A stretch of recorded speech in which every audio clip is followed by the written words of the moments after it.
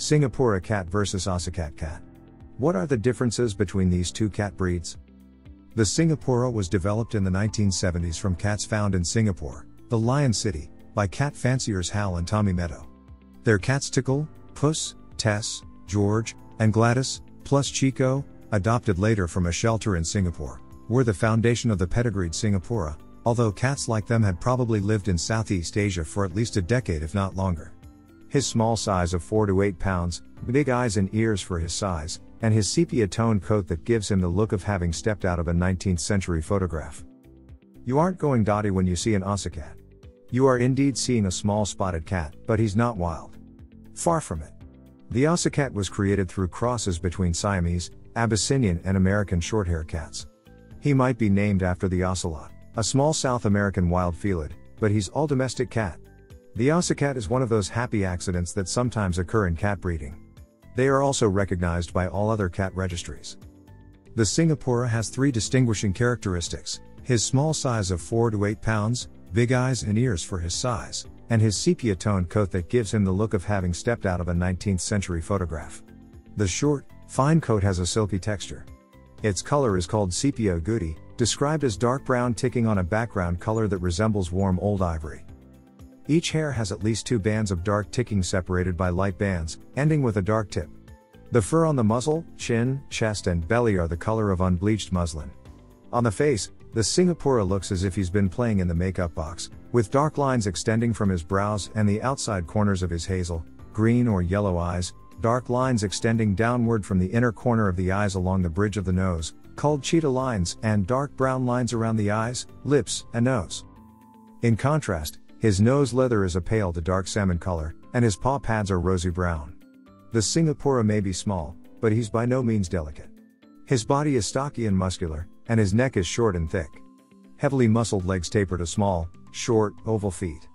His tail is short and slender with a dark tip. The Ocicat stands out for his spotted coat, which gives him the look of a small wildcat.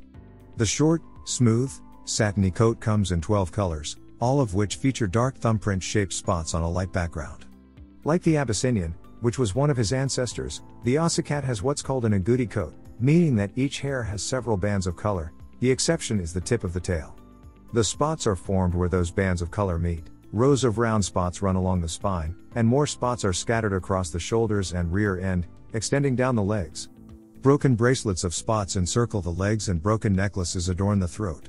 Large, while scattered spots appear on the side of the body and on the belly. The tail has what look like horizontal brush strokes going round it, sometimes alternating with spots. Markings around the eyes and on the cheeks make the Ocicat look as if he has been at work with a mascara tube. The forehead is marked with an M, for mischief, no doubt, and small spots cover the lower neck and shoulders. Some Ocicats have classic, mackerel and tick tabby coats, which are beautiful but aren't correct for the show ring. Those cats have the same great Ocicat personality, however, and make wonderful pets. The Ocicat has a medium sized to large body. He is muscular yet graceful. Large ears corner the modified wedge shaped head. Some Ocicats have tufts of fur that extend vertically from the tips of the ears. Large almond shaped eyes angle slightly upward and can be any color except blue. The lengthy tail has a dark tip. Hello. This video is sponsored by Bemix Pets. Are you looking for high quality cat collars at an affordable cost? Check out bemixpets.com. Use coupon code KittenLife to get 20% off. The tiny Singapura has a tiny little voice, but this mischievous and active cat makes his presence known in other ways, chasing small balls down the hall, tap dancing on keyboards, climbing curtains or anything else that will place him on high, or jumping on your shoulder as you walk by to go for a ride. He retains his playfulness well into adulthood. The Singapura loves people and isn't shy about meeting people. He likes being a lap cat and is an excellent bed warmer on cold winter nights. Despite his busy nature, he is a gentle friend who will put aside his activities to keep you company when you're feeling under the weather. The rest of the time? Watch out, he is as curious as cats come and will be into anything that looks interesting. The Singapura does best in a home where he will have plenty of company, human or animal. The devoted and playful Ocicat loves people and will trail their footsteps through the house or ride on a shoulder. Guests are welcomed by this generally social cat as new opportunities for petting or lap sitting. Oh, Ocicats don't even mind being carried around as long as they are with you. As with any animal, they come in a range of personalities, so some are shyer than others.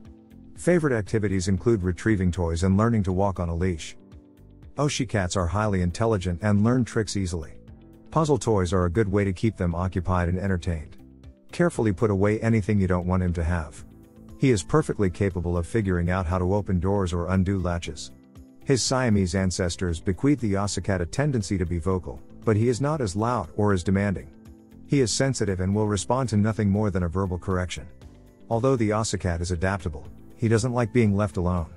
Be sure he has another cat or dog as a companion if you aren't home during the day. Singapura is short, smooth coat is easy to care for with a quick weekly combing. Polishing it with a chamois will make it shine. A bath is rarely necessary. The Ocicat's short, smooth coat is simple to groom with weekly brushing or combing to remove dead hairs. A bath is rarely necessary. Brush the teeth to prevent periodontal disease. Daily dental hygiene is best, but weekly brushing is better than nothing.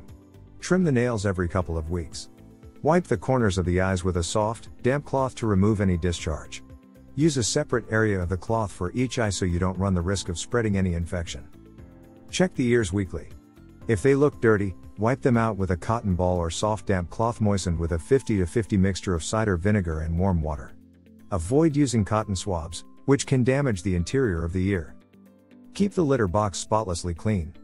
Cats are very particular about bathroom hygiene. It's a good idea to keep Singapura and Ocicat as indoor only cats to protect them from diseases spread by other cats, attacks by dogs or coyotes, and the other dangers that face cats who go outdoors, such as being hit by a car. Cats who go outdoors also run the risk of being stolen by someone who would like to have such a beautiful cat without paying for it. Singapura is playful and smart and can be a good friend to a child who treats him nicely. He's one of those cats who enjoys playing fetch and learning tricks, and his energy level means he won't wear out before the child does. He is happy to live with other cats and cat friendly dogs, too, thanks to his amiable disposition. Introduce pets slowly and in controlled circumstances to ensure that they learn to get along together. Singapuras usually get along well with other animals and seem to prefer living with some kind of company, not thriving when left alone all day. The gentle and playful Ocicat is well suited to life with families with children and cat friendly dogs. He can learn tricks, enjoys interactive toys, and loves the attention he receives from children who treat him politely and with respect. Supervise young children and show them how to pet the cat nicely. Instead of holding or carrying the cat, have them sit on the floor and pet him. It's likely that the Ocicat will dominate other cats in the household and may even rule the dogs. Always introduce any pets, even other cats, slowly and in a controlled setting. If you enjoyed this video, kindly press the like button. Also don't forget to subscribe with notifications on, so that you don't miss out on videos like this. Thank you for watching.